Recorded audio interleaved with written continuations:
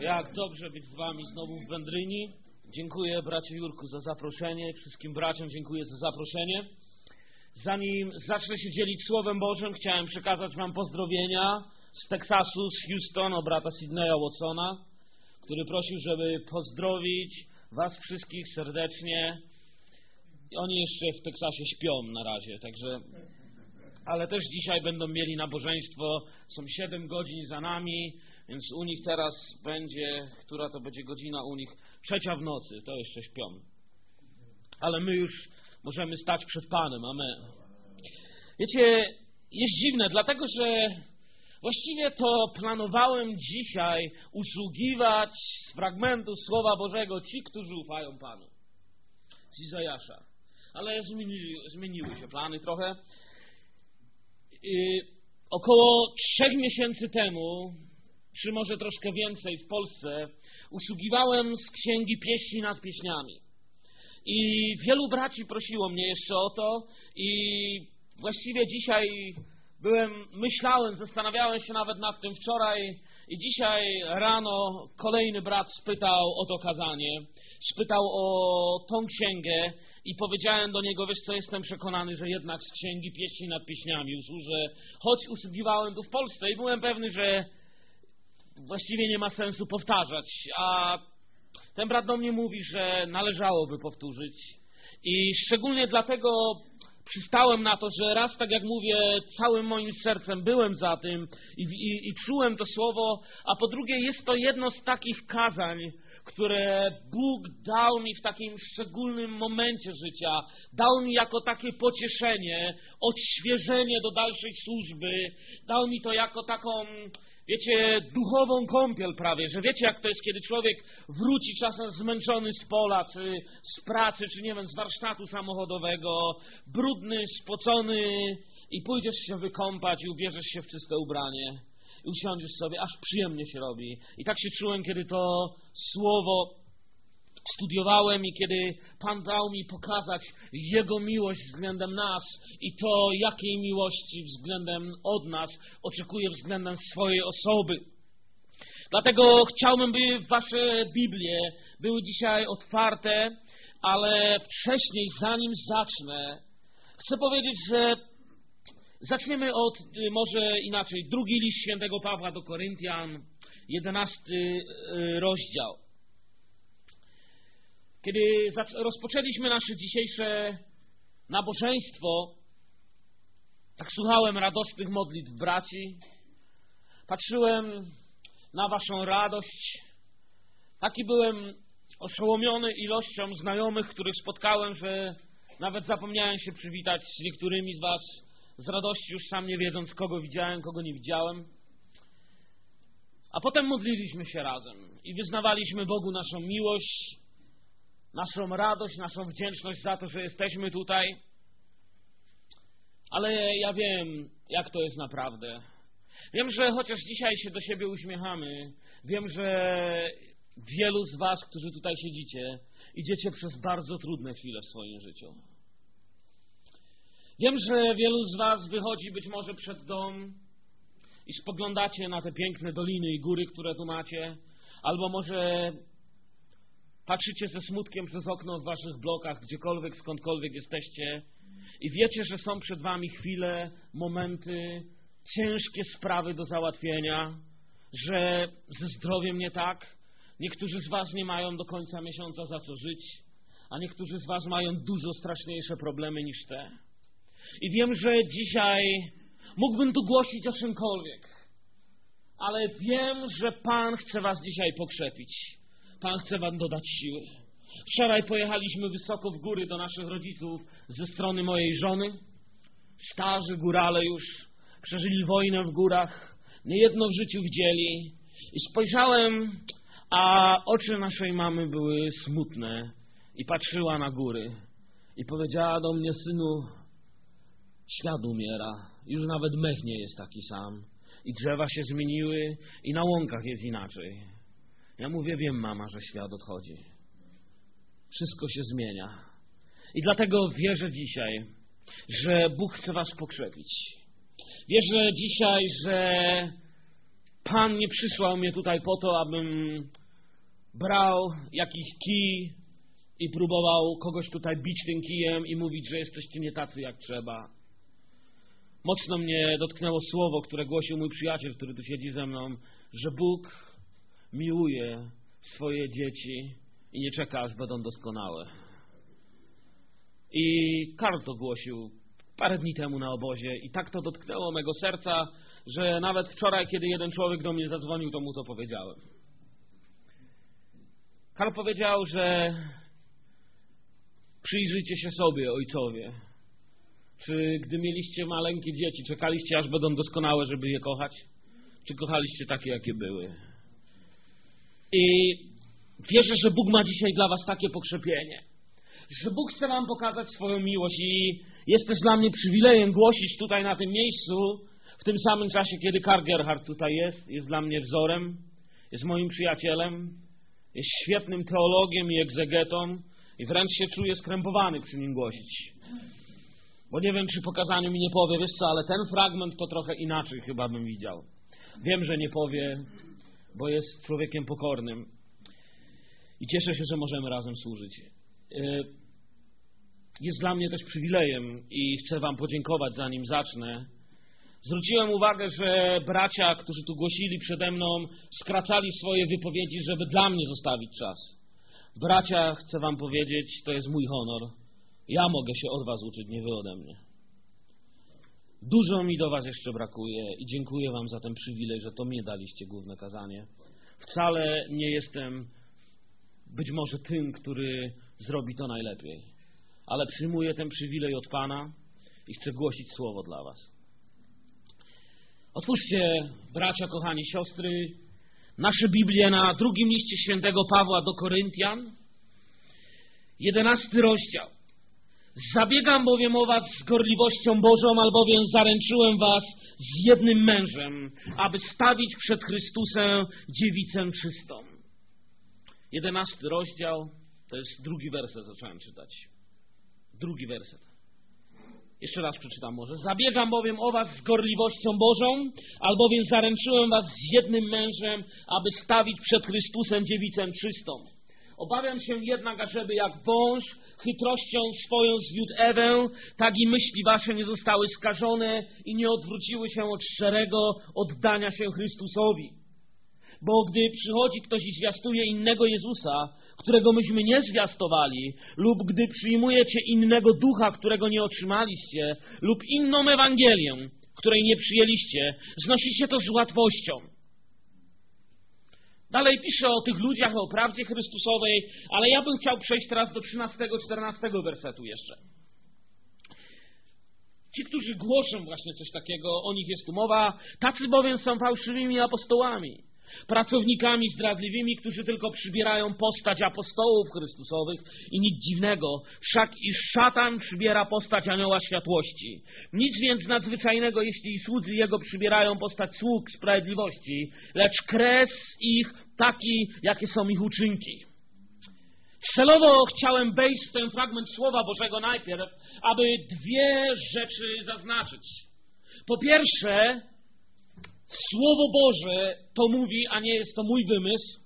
I wierzę, że i wy w to wierzycie, że Kościół jest oblubienicą Chrystusa. Amen? Jesteśmy oblubienicą Chrystusa, tym jedynym, po kogo Chrystus przyjdzie.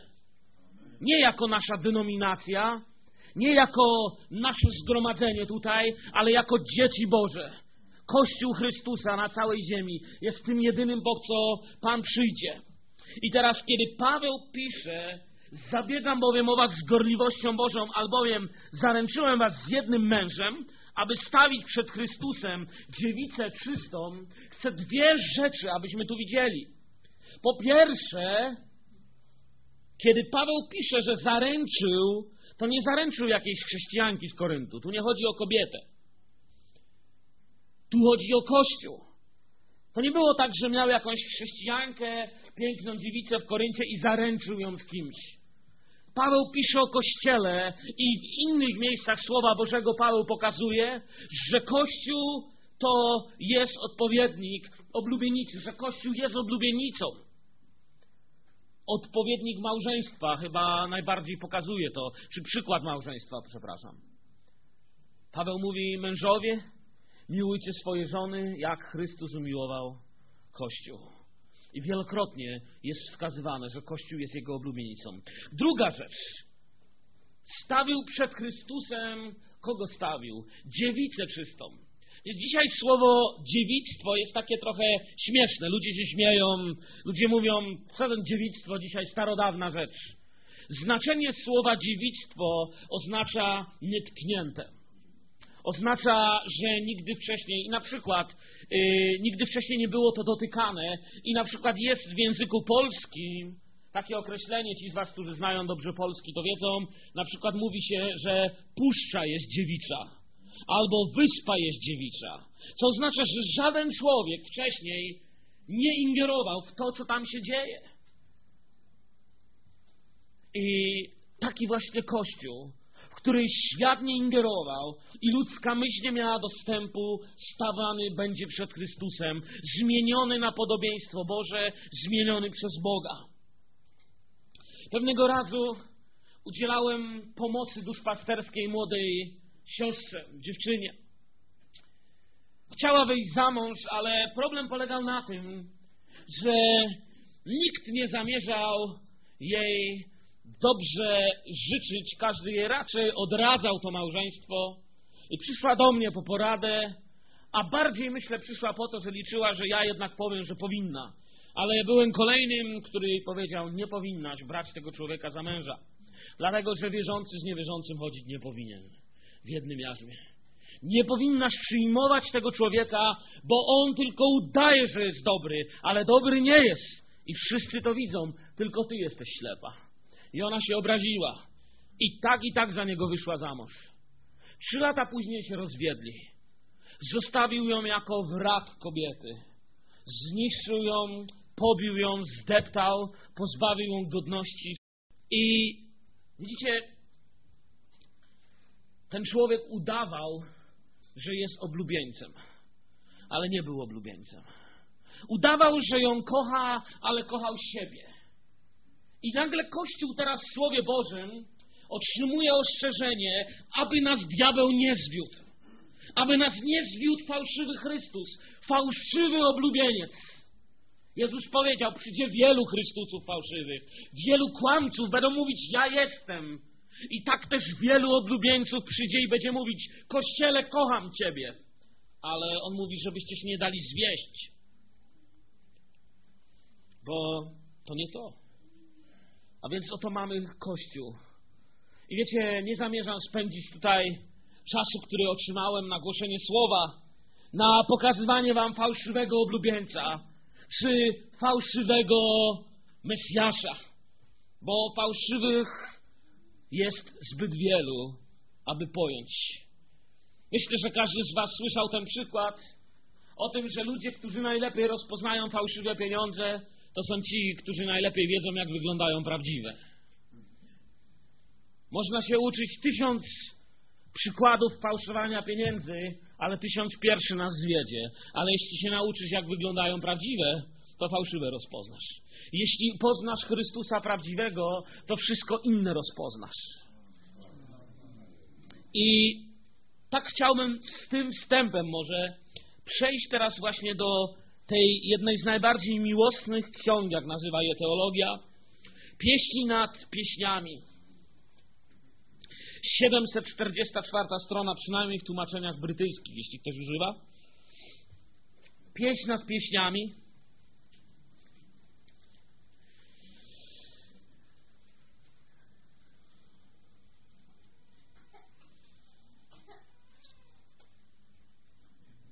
Wiecie, ostatnio tak się składa, że częstokroć z tej księgi dzielę się, a mam tylko jedno nabożeństwo do dyspozycji.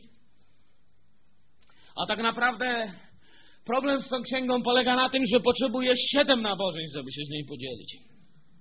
A więc będę się starał podzielić na jednym.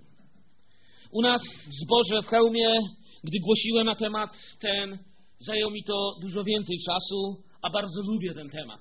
Pamiętam, kiedyś tutaj już głosiłem na podobny temat, ale to troszeczkę inaczej chciałbym dzisiaj na to spojrzeć. Wierzymy, że Kościół jest oblubienicą. Widzicie, kiedy popatrzymy na prawdziwe małżeństwo, na miłość dwóch ludzi, do których się odwołuje Nowy Testament, aby nam jakoś przybliżyć to, jak Bóg miłuje Kościół, to zauważyłem, że znam kilka dobrych małżeństw w życiu.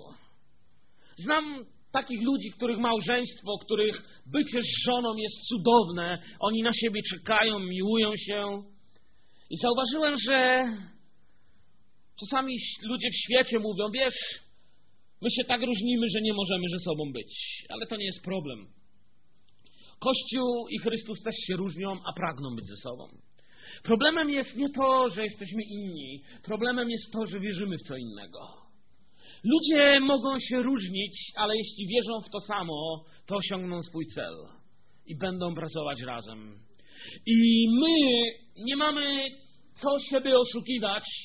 Na pewno daleko nam do Pana Jezusa, na pewno się różnimy z Bogiem. Nikt na tej sali nie odważy się wstać i powiedzieć, a ja jestem taki sam jak Bóg we wszystkim. Nikt nie jest taki jak Bóg. Różnimy się, ale mamy tą samą miłość, ten sam cel, do tego samego zmierzamy, chcemy być razem i w to samo wierzymy. I teraz chciałbym z pieśnią nad piśniami, przynajmniej w każdym rozdziale, przejść parę kluczowych wersetów, które pokażą, które jakby naświetlą dzisiaj na tą miłość między oblubienicą i oblubieńcem. Gdyż wierzę, że jest to cudowny, cudowny fragment Słowa Bożego. Drugi rozdział, drugi werset wskazuje nam na to, czym jest Kościół w oczach Bożych. Przeczytajmy drugi rozdział od drugiego wersetu i dalej. Jak lilia między cierniami, tak moja przyjaciółka między dziewczętami. Jak jabłoń wśród drzew leśnych, tak mój miły między młodzieńcami. W jego cieniu pragnę odpocząć, gdyż jego owoc jest słodki dla mego podniebienia. Wprowadził mnie do winiarni, której godłem dla mnie jest miłość. Pokrzepił mnie plackami z rodzynków, posilił mnie jabłkami, bo jestem chora z miłości. Jego lewica jest pod moją głową, a jego prawica obejmuje mnie. Pierwsze, co mi się rzuca w oczy, to jest to, jak Bóg widzi Ciebie. Jak Bóg widzi Kościół. Powiedziałem dzisiaj, że wiem, że wielu z Was ma trudne chwile. Wielu z Was może mieć wątpliwości. Wielu z Was może idzie w strasznych chwilach swojego życia i mówicie, Panie, ile jeszcze? Panie, czy ja w ogóle dojdę? Chciałbym, abyście zobaczyli oto jak Bóg widzi swój Kościół. Bóg go widzi tak. Jak lilia między cierniami, tak moja przyjaciółka między dziewczętami. Kościół jest oblubienicą, a Chrystus jest oblubieńcem. Ja nie wierzę, że księga pieśni nad pieśniami została nam dana tylko po to, żeby opisać jakiś romans Salomona. Wiem, że jest to księga w jakiś tam sposób historyczna też ale przede wszystkim wierzę, że jest to księga natchniona Duchem Świętym, księga duchowa, która ma wskazywać naprawdę duchowe. I nie byłoby celu jej tutaj zamieszczać, gdyby chodziło tylko o relację Salomona i jakiejś kobiety, którą miłuje. Nauczyłem się jednej mądrości ze Słowa Bożego dzięki temu, że słuchałem czasami starszych braci. Jeden ze starych kaznodziejów powiedział mi kiedyś tak, jeszcze w Estonii.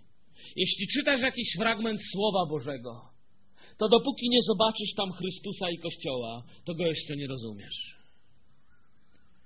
A widzę dzisiaj Chrystusa i Kościół. Od samego początku aż do końca cała ta księga opowiada o Bożej miłości, o Kościele, o odkupieniu. Każda księga to Chrystus, każda księga to Kościół. W każdej z nich widać ich. I oto jak Bóg was widzi. Różnie możemy myśleć, ale Słowo Boże mówi, widzę, że Bóg mówi, że widzę Kościół jak lilię między cierniami. Wiecie, ten świat to są ciernie. Czy Chrystus przyszedł dwa tysiące lat temu, czy przyszedłby dziś? Kiedykolwiek Chrystus chodziłby po tej ziemi, zawsze chcieliby go zamordować, zawsze chcieliby go usunąć. Zawsze Kościół był w nienawiści. Zawsze ziemia duchowo w Bożych oczach była jak cierni od grzechu i od nieprawości. Ale pośród tego ciernia, pośród korupcji, kłamstwa, nieprawdy, pośród ludzkiej złości, Bóg mówi, jak Ciebie, Kościele, widzę jak lilię. Widzę Ciebie niezwykłym. Widzę Ciebie wspaniałym przez wieki historii. Przez lata, kiedy Kościół w wolności, tak jak my, może się zbierać. Przez lata, kiedy Kościół pod prześladowaniami ukrywał się, a kaznodzieje musieli mówić cicho. Przez lata, kiedy Kościół może budować, może pomagać, karmić biednych, tak jak kar karmi bezdomnych i robić inne rzeczy. Przez te lata, kiedy nastali na piachu Koloseum, obdarci ze wszelkiej godności, kiedy szli ze śpiewem na śmierć. Jakie by nie były lata, Bóg patrzy na Kościół i mówi, jesteś mi jak lilia między cierniami. Ziemia to cierń. Tu duchowo nie ma żadnego innego, żadnej innej prawdy. Jedyną duchową prawdą jest Syn Boży Jezus Chrystus. Jedynym, co sprawia życie i co jest ładne w oczach Bożych jedynym, co Bóg mówi, że jest do przyjęcia.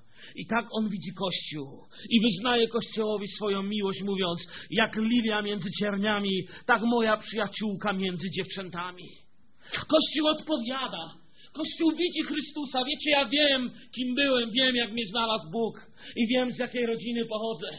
Diabeł miał wobec mnie zupełnie inne plany. Według diabelskich planów powinienem dzisiaj gdzieś umierać na jakiejś odwykówce albo w jakimś areszcie ale Bóg miał inne plany. I ja wiem, kogo kocham i wiem, dlaczego go kocham, bo wiem, co zrobił z moim życiem, jak je zmienił. I on mówi do Kościoła, Kościele, widzę Ciebie jak lilię między cierniami, a Kościół mu odpowiada tym westchnieniem z trzeciego wersetu, jeśli to widzicie. Jak jabłoń wśród drzew leśnych, tak mój miły między młodzieńcami. W jego cieniu pragnę odpocząć, gdyż jego owoc jest słodki dla mego podniebienia jak jabłoń wśród drzew leśnych. Wszyscy chyba, którzy tu są zebrani, widzieli kiedyś las, prawda? Każdy był chociaż raz w życiu w lesie. Wyobraźcie sobie gęsty, ciemny las.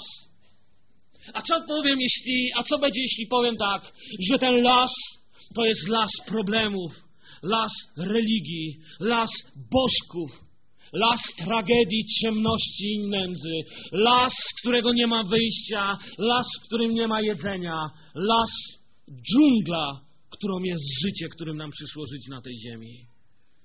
I właśnie pośród takiej dżungli pewnego dnia moje życie zostało oświecone przez drzewo, które zwykle w środku lasu nie rośnie. Pewnego dnia spotkałem tego, który mnie nasycił i podniósł.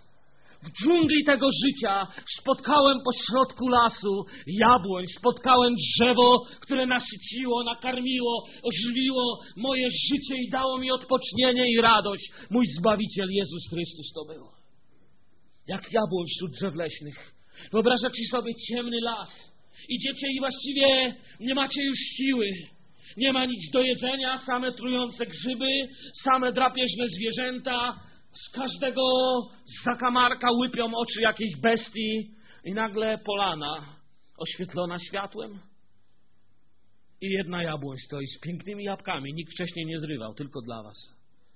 Takim był Pan Jezus, gdy go spotkałem.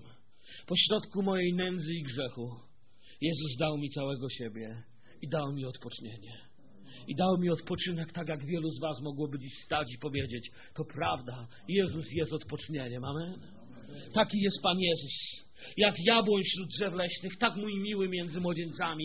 Jest ich wielu. Są różni bogowie, różne wierzenia, ale wszystko jest dżungla. Ja jestem prawdą, powiedział Jezus. Wszystko inne to kłamstwo. W Jego cieniu pragnę odpocząć, gdyż Jego owoc jest słodki dla mego podniebienia. Cóż to znaczy, że w cieniu tej jabłoni chcę odpocząć? Chcę wam powiedzieć, dwa tysiące lat temu On chodził po tej ziemi. Dzisiaj ludzie mają na wymyślane różnych świąt, niezwykłych okazji, szczególnie świętych dni i miejsc świętych dni. Ja wiem, że jeśli Jezus jest Twoim Panem, każdy dzień jest święty, każdy dzień należy do Pana, każdy dzień jest Pana, a cudownie jest, że możemy się zbierać i uwielbiać Go w tą niedzielę. Ale ja Wam coś powiem, to nie dzień jest niezwykły, to Bóg jest niezwykły. Na całym świecie jest Kościół. Są miejsca, gdzie Kościół jest prześladowany, gdzie zabronione są spotkania w niedzielę, a jednak oni znaleźli w nim swoje odpocznienie. Przez różne chwile ludzie szli przez historię Kościoła, ale chcę wam powiedzieć, ten, który tutaj jest jak jabłoń, ten, który był jak prawdziwy człowiek dwa tysiące lat temu, ten, który dziś jest pośród nas, on stojąc patrzył na umęczone narody, patrzył na ludzi, patrzył na tych, którzy się z nim przyjaźnili i pewnego dnia spojrzał na nich i powiedział tak, pójdźcie do mnie wszyscy, którzy jesteście spracowani, umęczeni. Co to znaczy? Pójdźcie w mój cień. Odpocznijcie w moim cieniu. Pójdźcie do mnie. On powiedział, że nie tylko pójdźcie do mnie odpoczywajcie, ale też powiedział, że kto od niego zje, kto się od niego napije, już pragnąć nie będzie. Już nie będzie się włóczył głodny. Już nie będzie musiał się błąkać i szukać czegoś dla duszy. Pójdź do mnie, odpoczywaj i trwaj we mnie. W cieniu mojej ręki Ciebie ukryję, w cieniu tej jabłoni w cieniu tego, który Ciebie jak lilia widzi, bo jesteś Kościołem. On nie dlatego mnie widzi jak lilia, bo ja jestem jakiś piękny szczególnie i dobry. Nie dlatego Ciebie widzi jak lilia, bo jesteś lepszy, ale święta krew Jezusa i Jego nowe życie sprawia, że Bóg mówi, widzę Cię nowym, widzę Cię innym, widzę oddzielonym od świata. W Jego cieniu pragnę odpocząć. To jest mój sabat. To jest moja sobota. To jest moje odpocznienie. To jest ten, który stał mi się odpoczynkiem. Możecie mi wyznaczyć dzień odpoczynku. Może mnie ktoś nauczać soboty. I w sobotę zostawić mi, położyć mi wielkie łóżko i zostawić stół dobrym jedzeniem i powiedzieć odpoczywaj. Ale póki dusza człowieka męczy, to i najlepsze skarby odpoczynku mu nie dadzą. Mój przyjaciel, do którego niedawno byłem w Ameryce, w San Antonio, latał jako pilot dla człowieka, który miał w banku 50 milionów dolarów i rezydencję na każdym kontynencie świata, kiedy strzelił sobie pistoletem w usta i odebrał sobie życie. Mógł odpoczywać. Miał łóżko z klimatyzacją na każdym kontynencie, gdzie jego samoloty lądowały. Problem polegał na tym, że jemu nie był potrzebny dzień odpocznienia, jemu był potrzebny dzień wyzwolenia i Chrystus, który jest odpocznieniem dla grzeszników. A jego dusza nigdy tego nie znalazła i strzelił sobie w usta. A dla dopełnienia powiem, że jego brat, równie bogaty, pięć lat wcześniej też się zastrzelił. Zostawili majątek szacowany na samych 50 milionów dolarów w gotówce plus rezydencję i nawet nie było komu tego dać bo dzieci wydziedziczył, z żonami się rozwiódł. Państwo musiało na aukcję wystawić dorobek jego życia. Nawet dzieci nie mogły z tego spożywać, bo tak były zrobione dokumenty. Jego nienawiść sprawiła, że wszystko umarło. Ale oto Chrystus mówi, że jest jak jabłoń że jest jak cień, że jest dla Ciebie jak odpoczynek, że Jego owoc jest słodki dla mojego podniebienia. On jest jedynym źródłem pożywienia, jedynym drzewem życia w lesie śmierci, w lesie grzechu, w lesie nienawiści. Słowo Boże mówi dalej, że pokrzepił mnie, posilił, i nie tylko wprowadził do winiarni, pokazał kielich winiarni, którą jest miłość. Wierzę, że jest tylko jedno takie miejsce, gdzie było widać kielich miłości, gdzie było widać tego, który miłość właściwie podał nam aż do końca. Podał nam miłość jak gdyby do ręki, jak gdyby na tacy. Chcesz zobaczyć miejsce, którego godłem jest miłość? Spójrz na Golgotę. Oto miejsce, którego godłem jest miłość. Miłości nie ma większej nad tę, iż którą On nam okazał. Szósty werset mi się podoba. Szósty werset, wiecie, każdy werset mi się podoba, ale nie mam czasu tutaj do jutra mówić. Szósty werset mi się podoba. Jego lewica jest pod moją głową, a jego prawica obejmuje mnie. Macie wyobraźnię? Wyobraźcie to sobie. Widzicie to? Bóg coś ważnego nam mówi. W jednej jego ręce odpoczywa Twoja głowa, wszystkie Twoje myśli, zmartwienia i troski. Wszystko, o czym się dzisiaj martwisz. To, co jest nierozwiązywalne. To, że może lekarz powiedział nie to, co chciałeś usłyszeć i mówisz, Panie, Ty słyszysz, co ten lekarz mówi o mnie? Ja nie wiem, ile mi zostało. A może inne rzeczy. Ale on mówi, moja lewica jest pod Twoją głową. ale nie tylko we mnie odpoczywasz. Moja prawica obejmuje Ciebie. Ja Ciebie kocham.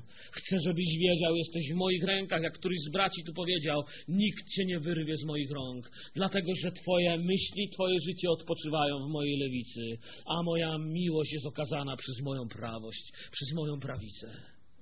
Jesteś objęty moją miłością i moim spokojem. I tak jest w Panu odpoczynek, bezpieczeństwo i Słowo Boże mówi, nikt nie wyrwie. Świat dzisiaj będzie szukał bezpieczeństwa. Wiemy, że świat, świat szuka bezpieczeństwa, świat szuka odpoczynku, ale on mówi, jego lewica pod moją głową, a jego prawica obejmuje mnie. Oto stan, w jakim znajduje się Kościół według Słowa Bożego. Bóg go kocha, Bóg go pilnuje i spokojnie możemy nasze myśli i nasze troski położyć na Jezusa.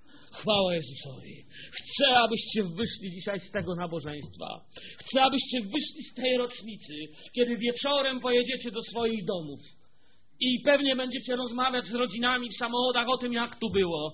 Moje marzenie jest. I będę szczęśliwy i ono się spełni, jak choć jeden z was w drodze do domu powie, Duch Święty mnie dzisiaj pokrzepił. Mam więcej siły, mam więcej radości życia.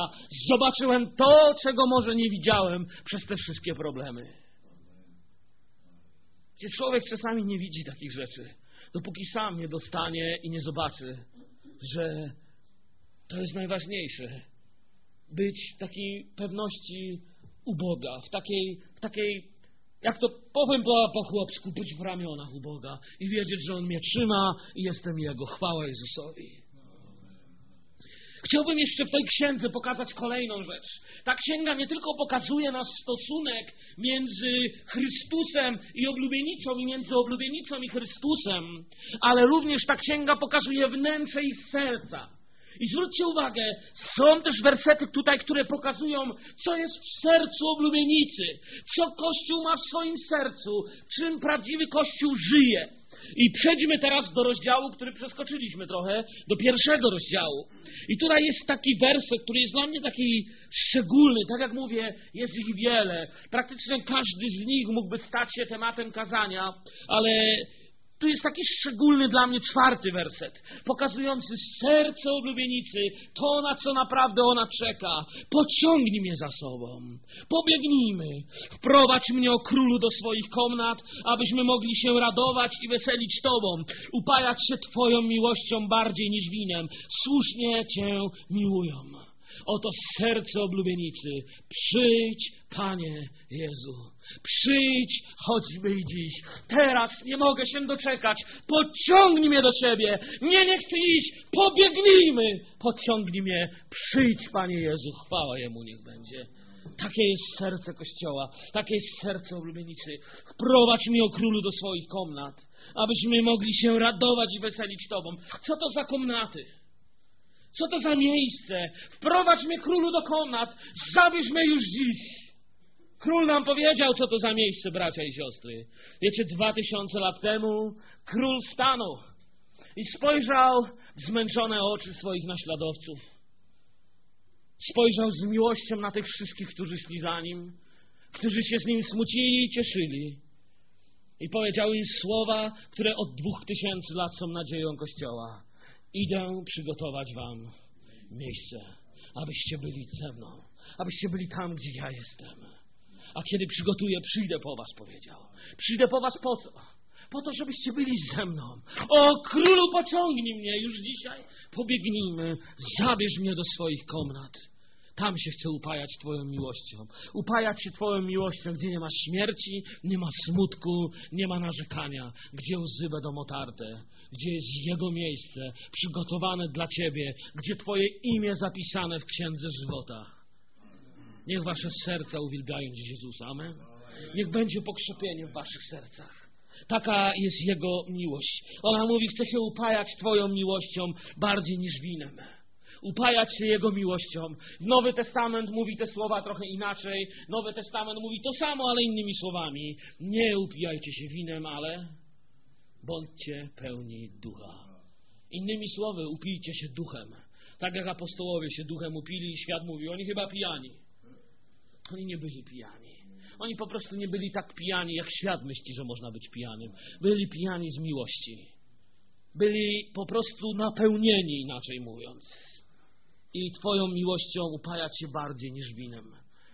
Wiecie, dzisiaj wielu ludzi pije, bo jest załamanych. Wiecie o tym?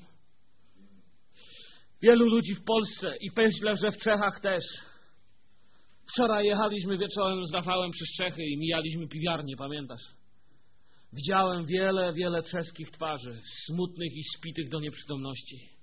Wczoraj mijałem też i w górskich wioskach byliśmy odwiedzić naszych rodziców wysoko w górach, gdzie nawet już dróg z asfaltu nie ma. I mijało nas kilku górali i pierwsza rzecz, jaką zobaczyłem, mówię, zobacz, jacy ci ludzie są spici. Z rozpaczy są tak spici, bo co oni mają życia? Jeżeli nie znasz Jezusa, jeżeli nie świta ci gdzieś życie wieczne, jeżeli nie masz żadnej nadziei, zarabiają parę złotych, właściwie jak zapłacą rachunki, zostaje im 50 złotych, to gdzie z tym można iść, jak nie do baru? Zresztą bar jest jedynym miejscem we wsi, które jest otwarte więcej niż w niedzielę. Spici i nieszczęśliwi. A oto Kościół mówi i wyznaje, że Twoją miłością chce się upajać. Jest lepsza niż wino. Ci ludzie piją wino i upijają się dzisiaj z beznadziei. Możemy ich krytykować, możemy ich nienawidzieć, a ja wiem, że Jezus się nad nimi pochylał.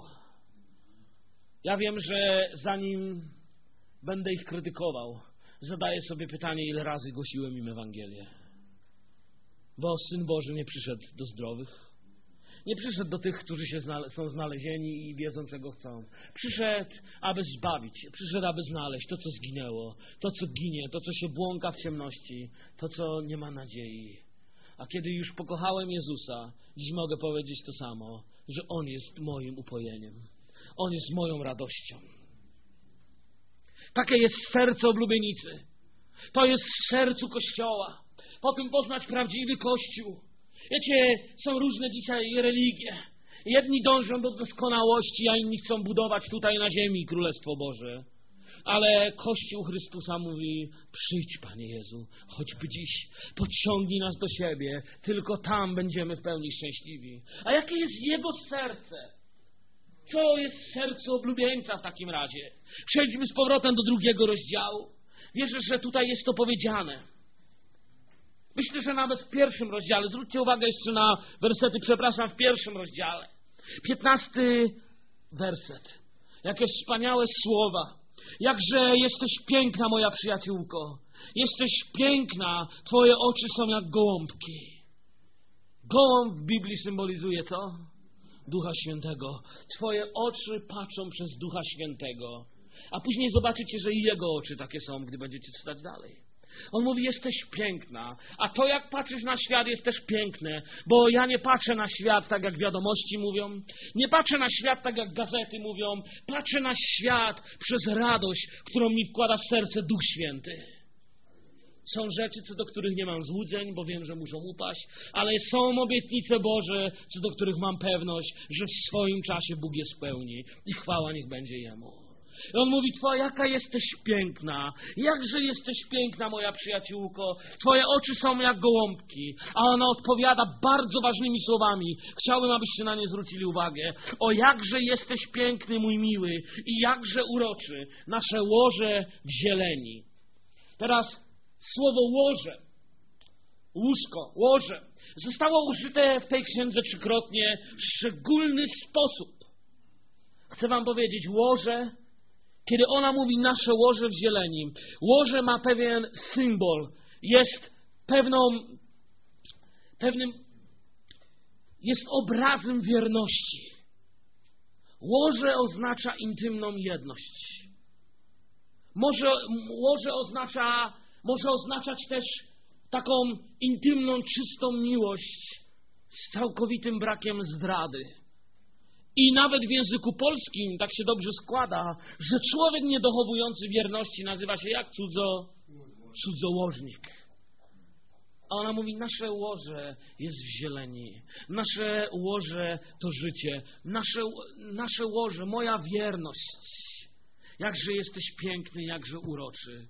Ty jesteś jedynym tym, co mi się podoba. Jedyne, co dla mnie jest piękne i moja wierność jest tylko, i moje ja, wszystko czym jestem jest tylko dla Ciebie. Kiedyś parę lat temu, gdy na jednej z rocznic tu usługiwałem o oblubienicy, nie wiem czy pamiętacie, o dwóch kobietach wtedy tu powiedziałem takie kazanie. Powiedziałem wtedy takie słowa, które bardzo pasują do tego wersetu, że oblubienica i nierządnica tym się od siebie różnią, że oblubienica chce się podobać tylko Jemu, nierządnica chce się podobać każdemu. I to jest ta różnica. Nasze łoże w zieleni. Ja jestem cała Twoja i tylko Twoja. Łoże symbolizuje tu wierność, bliskość. I to jest jej serce. Ale patrzmy w jego serce, w serce Chrystusa i przejdźmy do drugiego rozdziału z powrotem i dziesiąty werset. Mój miły odzywa się i mówi do mnie. Jej serce co mówiło? Pociągnij mnie do siebie. Pobiegnijmy. Co mówi jego serce? Bo to tu jest głębia jego serca pokazana. Mój miły odzywa się i mówi do mnie: Wstań, moja przyjaciółko, moja piękna, chodź.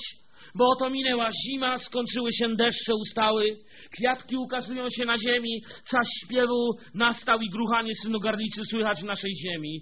Figowiec zarumienia już swoje owoce, a winna latorość zakwita i wydaje woń. Wstańże, moja przyjaciółko, moja piękna, chodź. To wszystko, co jest tutaj opisane, to życie, które jest tu opisane, które się budzi, te dźwięki, to ta, ta symfonia życia, która tu jest opisana, okazuje, pokazuje nam, że czasy doszły do swojej pełni. I oto rozlega się głos, który już wkrótce rozlegnie się nad naszą ziemią. To będą dni, kiedy w Czechach ludzie będą żyli tak, jak żyli zawsze. Polsce będą żyli tak, jak zawsze żyli. Nie wiem, czy to będzie noc, czy to będzie dzień. Po drogach będą jechać samochody. Jedni ludzie będą mieli złe plany, inni ludzie będą mieli dobre plany. Ale na głos trąby, na rozkaz Archanioła, nagle powstaną z grobów ci, którzy zasnęli w Chrystusie, a potem my będziemy pochwyceni w góry na obłoki z Panem i tak zawsze z Nim będziemy. I to jest to miejsce, Kiodor mówi, stań moja przyjaciółko, chodź i to będzie mgnienie oka i Kościół będzie z Nim. Chwała Jezusowi. Czy wasze serca uwielbiają Pana? Stań moja przyjaciółko, chodź już, bądź ze mną na zawsze, na odgłos trąby i Pan chce to słyszeć, wiecie. Ale ciągle jeszcze te dni nie nadeszły. Ciągle jeszcze tych dni nie ma. Musimy tu stać wiernie i chcę wam powiedzieć, On to widzi. Dlatego wcześniej powiedział, że Jego lewica jest pod waszą głową. Prawica obejmuje was. Czternasty werset pokazuje dalej Jego miłość. On mówi, gołąbko moja w rozpadlinach skalnych, w ukryciu szczelin. Daj mi oglądać swoje oblicze, daj mi usłyszeć swój głos, gdyż słodki jest swój głos i pełna wdzięku Twoja postać. Chcę wam powiedzieć, nieraz w historii Kościoła Kościół musiał się kryć jak gołąbek w rozpadliny skalne. Nieraz nasi bracia, nasi ojcowie kryli się i z pieczar, z lasów, z więzień wołali, a on mówił, gołąbko moja, gdziekolwiek jesteś, ja chcę Cię oglądać, chcę widzieć Twoją modlitwę, chcę widzieć Twoje oczy wpatrzone we mnie, chcę wiedzieć, że Twoja nadzieja we mnie. I dzisiaj czasy wolności, ale ciągle Wstyd to może być, strach to może być, prześladowania sąsiadów to mogą być. On mówi, moja gołąbko, chcę Ciebie widzieć. Stój zawsze przede mną. Bądź, Pan, Pan, Pan chce słyszeć swój lud. Pan chce widzieć swój lud. Gdzie moja Biblia się rozlatuje. Powoli. Gdzie ja słyszałem, jak ktoś kiedyś powiedział tak, że albo wam się Biblia rozleci, albo życie. Ja się cieszę, że mi się Biblia rozlatuje. Chwała Jezusowi. Czwarty rozdział. Siódmy werset. Jakże to może być, że Bóg takie słowa mógłby skierować do Kościoła? Jakże to może być, że ten, który jest bez skazy, może coś takiego powiedzieć do tej, która w tej księdze, w pieśni nad pieśniami była z pastwiska wzięta, była śniada, była właściwie tylko niewolnicą, osoba fizyczna, o której, do której jakby jest ten rozdział. My jako, kimże my jesteśmy? Kim ja byłem? Kimże z pastwiska wziętym, z rysztoka wziętym? Kim my wszyscy byliśmy, zanim On nas znalazł? A jednak Jego słowa brzmią, kiedy mówi o Kościele, cała jesteś piękna, moja przyjaciółko, i nie ma na Tobie skazy. Jak to możliwe? Oto tylko jedno nam zostaje, oddać Jemu chwałę za moc i potęgę krwi Syna Bożego, która zmywa wszelki grzech. Gdy jesteś pod tą krwią, jesteś piękny w oczach Boży i nie ma na tobie skazy. Bóg powie, ja mogę powiedzieć do Boga, Panie, ja mam tyle wad, ja może mam więcej wad niż większość ludzi tutaj. Bóg mówi, to jest przykryte. Chodź tylko wiernie za mną. Ucz się ode mnie. Wtedy od razu mi się przypominają te słowa skazania, które mówił Karl, które tu cytowałem. Bóg nie czeka, aż będę doskonały, żeby mnie nazwać swoim dzieckiem. Jeśliś się urodził z Boga, jesteś Jego dzieckiem. Jesteś niedoskonały? Cóż, Bóg Cię wychowa, nie bój się, ma metody. Ma swoje najlepsze metody. Ludzkie metody albo nas rozpieszczą, albo nas zabiją, albo poranią. Jego metody okażą Jego miłość. Jego metody są najlepsze. Cała jesteś piękna. I podoba mi się tu dziewiąty werset, jakby, który łączy z tym, nie mam czasu, wiecie, po każdym wersecie powoli jechać, bo byśmy dalej w pierwszym rozdziale byli. Oczarowałaś mnie, moja siostro, oblubienico, oczarowałaś mnie jednym spojrzeniem swoich oczu, jednym łańcuszkiem ze swojej szyi. Jak to jest, że oczarowała go spojrzeniem swoich oczu? Co takiego się stało? Przypomina mi się wtedy psalm. Przypominają mi się wszystkie chwile, w których podobamy się Bogu. Pamiętacie ten psalm, który mówi: Oczy moje wznoszę zwyż, skąd nadejdzie mi pomoc? Moja pomoc jest od Pana. Oczarowałaś mnie, siostro, moja siostro oblumienico, oczarowałaś mnie jednym spojrzeniem swoich oczu. Jesteś piękna, kiedy na mnie patrzysz. Bóg chce Wam dzisiaj powiedzieć: wpatruj się we mnie. Patrz się na mnie. A kiedy Twoje oczy kierujesz na moją pomoc, kiedy Twoje oczy kierujesz do mnie, chcę Ci powiedzieć, że jesteś piękny i chwała niech będzie Bogu. Oczarowała go jednym spojrzeniem swoich oczu, jednym łańcuszkiem ze swojej szyi. Czymże jest łańcuszek na szyi? Biblia mówi nam, co jest naszą ozdobą. Biblia mówi, że Pan jest naszą ozdobą że Jego prawość jest naszą ozdobą. Biblia uczy nas, że nie szczycę się żadną mądrością, Panie. Nie szczycę się bogactwem. Nie szczycę się majątkiem. Nie szczycę się rydwanami ani końmi. Tobą się szczycę. Tobą się szczycę, Panie. Ty jesteś moja piękność. I on do niej mówi, jakże piękna jest Twoja miłość moja siostro oblubienico. I tu chcę wam, bracia i siostry, kolejną głęboką prawdę Słowa Bożego powiedzieć. Kiedy będziecie studiować w domu czwarty rozdział, wszystko w czwartym rozdziale Bóg mówi, że jest Jego, ale miłość mówi, że jest jej. I zacząłem się nad tym zastanawiać. I piąty rozdział, gdy będziecie czytać, on dalej mówi moje. Bóg inaczej, za chwilę do tego przejdziemy. Wszystko, czym jesteśmy, należy do Pana. Amen? To, co mamy, nasze zdrowie, nasze siły, nasz samochód, nasz dom, nasze majątki, nasze dzieci, małżeństwo, plany, to należy do Pana. Ale Bóg chce, byśmy Go kochali i miłość jest nasza. Nie możemy Bogu dać nic oprócz naszej miłości. Wiecie, czasem patrzę na moje maleńkie dzieci, jak się bawią w pokoju. Co mi moje dzieci mogą dać, powiedzcie mi? Mogą mi zapłacić za to, że mieszkają u mnie w domu?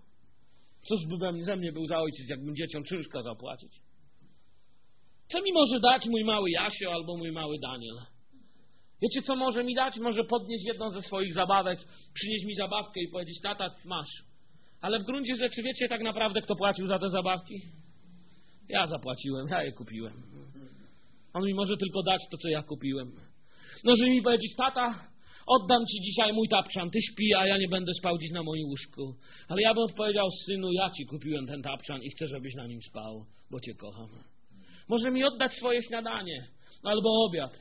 Ale ja mu powiem, synu, ja za to zapłaciłem i chcę, żebyś ty jadł. Ja wolę nie jeść, a ty lepiej jedz. Co możemy oferować Bogu, powiedzcie?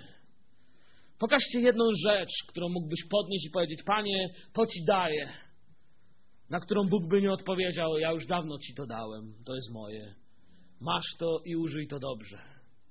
Jest jedno, co może ofiarować Bogu, a On przyjmie. Panie, ofiaruję Ci moją miłość. Kocham Cię.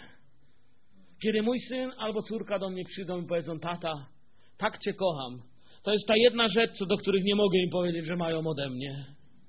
Bo to nie ode mnie dostali. To jest to jedne, co prawdziwie mogę przyjąć od nich i przytulić ich, powiedzieć, i ja Cię kocham. I to się nazywa miłość. Jaka piękna jest Twoja miłość, moja siostro oblubienico. Ona tylko Jego kocha, tylko Jemu się chce podobać. Dwunasty werset powiada, że ona jest ogrodem zamkniętym, jest moja siostra oblubienica. Ogrodem zamkniętym, źródłem zapieczętowanym. Nikt nie ma do niej wstępu, nikt nie może tam wejść. Ale w takim wypadku, skoro nikt nie może naruszyć tej czystości i świętości, w jakiś sposób świat może poznać i stać się częścią tej, tej cudowności. Jak myślicie, czy świat stanie się częścią Kościoła, jeżeli damy im kawałek naszej religii? Nie. Jest coś, co się musi stać, żeby ludzie w świecie się nawrócili tak, jak wyście się nawrócili. Szesnasty werset powiada, Powiej wietrze z północy i zerwij się wietrze z południa, przewiej mój ogród, niech się rozpłynie jego woń balsamiczna, niech przyjdzie mój miły do swojego ogrodu i niech spożywa wyborne jego owoce. Chcę wam tutaj wielką prawdę powiedzieć. Wiatr północy symbolizował zawsze niedostatek, napaść, wojnę, zło, które nadciągało. Wiatr z południa symbolizował ciepło, dostatek i pogodę w dniu pogodnym i niepogodnym, w dniach dobrych i złych, jak pisał Paweł, Słowo Boże tutaj mówi, przewiej mój ogród, niech się rozpłynie jego woń balsamiczna. I o to chodzi tutaj. W dniach dobrych i w dniach złych Twoje życie ma być wonią Chrystusową dla tego świata. Świat ma czuć w nim Chrystusa i ma widzieć, że czy Ci dobrze, czy źle, w Chrystusie jesteś schowany, jesteś Jego. Amen. Przewiej wietrze. Przewiej wietrze z dobrych dni i złych dni. Jakimkolwiek by było moje życie, chcę, żeby ludzie czuli woń Chrystusa w moim życiu i widzieli, że należy do Pana. Niech się rozpłynie Jego woń balsamiczna. Pamiętacie, jak Jezus posłał w szóstym rozdziale, bodajże to jest chyba szósty, piąty, szósty rozdział Ewangelii Marka, jak Jezus posłał uczniów? Pamiętacie, co się stało, kiedy wrócili? Uczniowie poszli i byli wonią Chrystusową. I kiedy wrócili, tłumy za nimi przyszły. Jezus spojrzał na nich i ulitował się nad nimi. Spojrzał na nich i zaczął ich nauczać i zaczął czynić cuda w ich życiu. Niech przyjdzie mój miły do swojego ogrodu. Niech spożywa wyborne jego owoce. Chcę być wonią Pana Jezusa. Chcę pociągać ludzi do Jezusa. Chcę zmieniać moje życie i chcę, żeby On to życie trzymał w swojej prawicy, lewicy. Chcę czuć Jego miłość i dzisiaj, jak powiedziałem, moim celem jest Was pokrzepić. Moim celem jest, abyście wracali do domu i powiedzieli dziękuję Jezusowi za miłość, którą mi okazał. Chwała Jezusowi. Powiedziałem, że wszystko jest Jego. Zobaczcie na piąty rozdział. Zwróćcie uwagę na słowo moje. Wszedłem do mojego ogrodu, moja siostro oblubienico, zerwałem moją mirę wraz z moim balsamem, zjadłem mój plaster wraz z moim miodem, wypiłem moje wino wraz z moim mlekiem. Jedźcie, moi przyjaciele, pijcie i upijcie się miłością. Jeszcze raz jest powiedziane. Nie upijajcie się winem, bądźcie pełni ducha. Wejdźcie, moi przyjaciele, i bierzcie z wszystkiego, co jest w Chrystusie. Bierzcie z wszystkich darów Ducha Świętego, innymi słowami. Bierzcie z wszystkich tych owoców. Bierzcie z wszystkich tych błogosławieństw. Bierzcie z tego, co On wam chce dać, a gdy wam da z tego, co wasze życie urodzi, bo Jego jest życie, On jest Panem życia. Przyjdźcie, odpoczywajcie i nakarmcie się tym, co jest w Nim, On mówi. Dalej piąty rozdział opowiada o bólu czekania, o bólu rozłąki, który wszyscy doświadczacie. Opowiada o tym, jak ona z niecierpliwością oczekuje Jego przyjścia. Opowiada o tym, że prawie Go widzi, jak wchodzi, ale znika. Opowiada o tym, że idzie za Nim po nieprzyjaznych ulicach.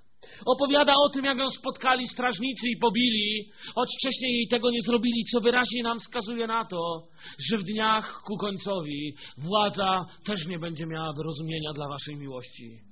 Świat was nie będzie rozumiał, ani władze was nie będą rozumieć. Nikt nie będzie was rozumiał waszej miłości. I oto spotyka na ulicy nazwane tu córki jeruzalemskie.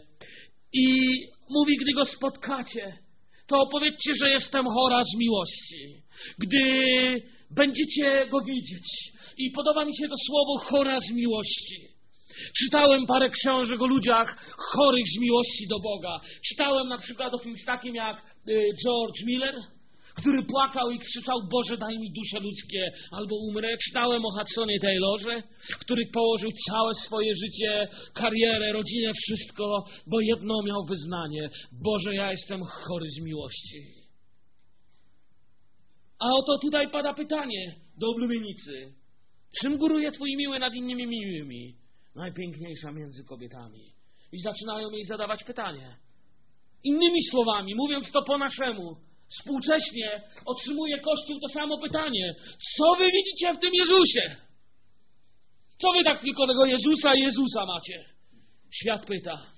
A ona mówi dokładnie, wszystko w nim widzę. On jest piękny i zaczyna wyliczać, jaki on jest. Świat mówi, co wy widzicie w tym Bogu? Co wy tylko tego Jezusa macie? Przecież jest tylu innych Bogów. Nie, nie, nie, nie. Jest tyle innych przyjemności. Nie. Ona nie chce niczego, ona jest tylko jego, a on tylko jej. I zaczyna opowiadać, jaki on jest piękny. I nikt jej nie może już zrozumieć, a ona wyjaśnia. I kiedy czytam piąty rozdział, widzę, jak nikt jej nie rozumie. Ona mówi, jaki on jest wspaniały, cudowny, opisuje go od głowy aż do stóp, całą jego cudowną postać. I wiecie co? Kiedy opisuje tą postać, przypomina mi się postać z księgi Daniela zupełnie inna postać.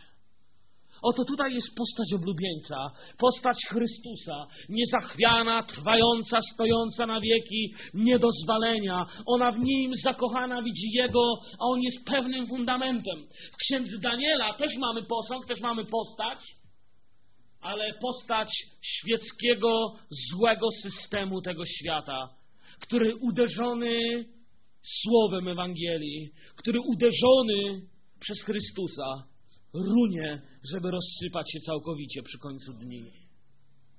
A oto Chrystus będzie trwał na wieki. Jej miłością jest tylko On. Ona w szóstym rozdziale mu wyznaje, ja należę do mojego miłego, a mój miły, który pasie wśród lili, należy do mnie.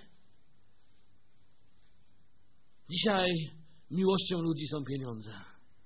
Za pieniądze ludzie mordują, jeśli pójdziecie do sądu posłuchać rozprawy, za pieniądze ludzie są gotowi zdeptać siebie, zdeptać w błoto. Za pieniądze dzisiaj brat brata będzie sprzedawał. Pieniądz stał się Bogiem ludzi. Po co są kraty w oknach? Po co stacje benzynowe zamykają nocami w pustych ulicach? Dlaczego ludzie boją się wieczorami i mają pięć zamków w drzwiach? Bo pieniądz stał się Bogiem tego świata. I za pieniądze ludzie są gotowi zarżnąć rodziców i zostawić dzieci same. Za pieniądze są gotowi sprzedać wszystko. A ona mówi, jej Bogiem nie jest pieniądz, nie jest ten świat. On jest jej miłością. Ja należę do mojego miłego, a mój miły, który pasi wśród lili, należy do mnie. I powoli zbliżamy się do końca księgi. Dziesiąty werset chciałbym zobaczyć. Kimże jest ta, która jaśnieje jak zorza poranna? Piękna jak księżyc, promienna jak słońce, groźna jak chówce waleczne. Wiecie, kimże jest ta, która jaśnieje jak zorza poranna? W księdze Daniela Jezus mówi, że sprawiedliwi będą jaśnieć jak zorza poranna. Oto kim jest ta. Piękna jak księżyc. Wszyscy wiecie, że księżyc nie świeci, prawda? Księżyc odbija i Kościół ma być piękny, jak ten, którego światło odbija. Ale Kościół nie tylko go odbija, Kościół jest również jego pełny, dlatego jest promienna jak słońce, czyli pełna Boga. I oto mamy obraz oblubienicy Kościoła. Jaśnieje jak zorza poranna, bo jest sprawiedliwa. Jest piękna jak księżyc, bo podobna jest do Chrystusa i promienna jak słońce, bo jest pełna Ducha Świętego, pełna Boga. Oto przyjdę wkrótce. Przyjdę wkrótce, on mówi. A zapłata moja jest ze mną, by oddać każdemu według jego uczynku. Ja jestem alfa i omega, pierwszy i ostatni, początek i koniec. Błogosławieni, którzy biorą swoje szaty, aby mieli prawo do drzewa żywota i mogli wejść przez bramy do miasta. Na zewnątrz są psy i czarownicy i przetecznicy i zabójcy i bałwochwalcy i wszyscy, którzy miłują kłamstwo i czynią je. Oto mamy na zewnątrz i wewnątrz. I dzisiaj niech to słowo będzie wam pokrzepieniem. Jeśli jesteś wewnątrz, jesteś w nim, jesteś jego, cokolwiek się stanie, będziesz w nim. Na zewnątrz są psy. Wiemy, kto to są psy. Psy to są ci, którzy odrzucili jego przesłanie i nie przyjęli jego prawdy. Krótko mówiąc. Czarownicy to są ci, którzy chcą doświadczać cudów, niezwykłych rzeczy, ale poza mocą Bożą. Przetecznicy, wiemy bracia i siostry, kto to są przetecznicy. Na przykład jak masz bracie w domu Playboya i oglądasz gazety z różnymi dziwnymi kobietami, podniecasz się niezwykłymi rzeczami, to Biblia właśnie nazywa to przeteczeństwo. Kiedy się takimi rzeczami zaspokajasz. Albo jeśli jaka siostra prowokuje braci, udając sama skromną, to jest to, co, o czym tu Biblia mówi. Zabójcy to są ci, którzy się gniewają i w swoim gniewie odrzucają swojego bliźniego, bo gniew jest pierwszym krokiem do zabójstwa. Jeśli się kto gniewa na swojego brata, jakby go zabił. A powiem wam, że czasami tak to jest. Gdy ktoś, kogo kochasz, się na ciebie tak obrazi, że nie chce z tobą rozmawiać, to jakby ci nóż w plecy wsadzał, prawda? I wszyscy, którzy miłują kłamstwo i czynią je. Kłamstwo to jest nieprawda. Można kłamstwo miłować albo je czynić. Można kłamać albo można tak nic nie mówić, ale robić nieprawdę. I wtedy czasem ludzie myślą, a ja przecież nie robię żadnej, nie kłamałem, ale robisz nieprawdę. Przyczyniasz się do niej. Są na zewnątrz. A wewnątrz są ci, którzy wyprali szaty na to cudowne wesele. Pragnę, aby w waszych sercach zabrzmiał głos. Aby Duch Święty was napełnił radością. I abyście usłyszeli głos, który brzmiał w jednym z tych cudownych rozdziałów, które czytałem. Cała jesteś piękna, moja siostro oblubienico. I nie ma na tobie żadnej skazy. Niech Bóg was błogosławi, kochani przyjaciele. Amen.